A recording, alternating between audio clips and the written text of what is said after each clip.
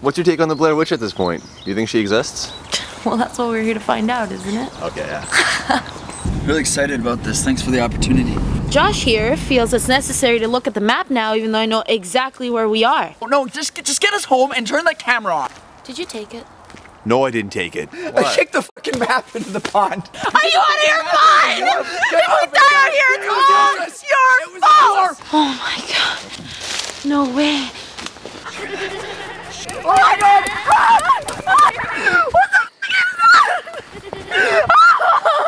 Josh! Josh! I'm so sorry. I'm coming!